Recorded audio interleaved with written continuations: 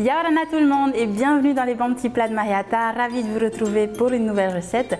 Et aujourd'hui, nous allons partir du côté de l'Asie avec une recette de brochette de poulet marinée au miel.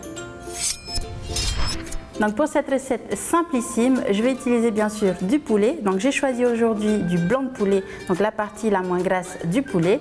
Je vais prendre également un petit peu de sauce soja claire, un petit peu de miel, quelques graines de sésame et un petit peu d'huile de sésame. Je vais couper tout simplement mon blanc de poulet en longueur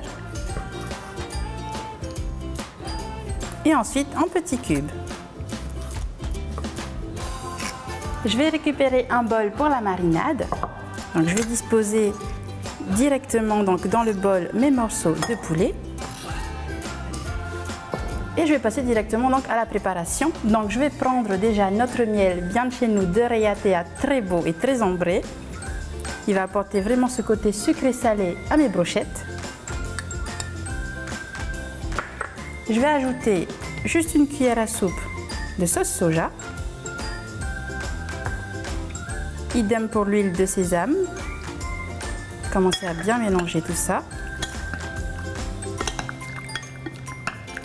Je vais terminer avec un petit peu de croquant avec mes graines de sésame.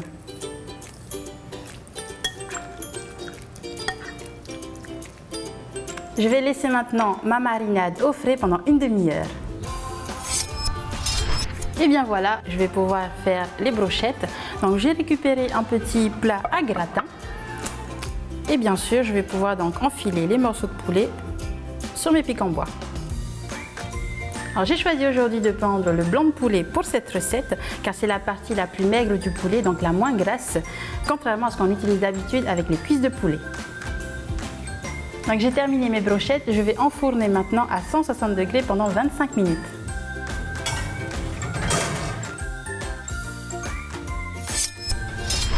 Et bien voilà, j'ai terminé mes brochettes, je les ai sorties du four. Elles ont cuit uniquement 15 minutes parce que le blanc de poulet ça cuit très vite au four.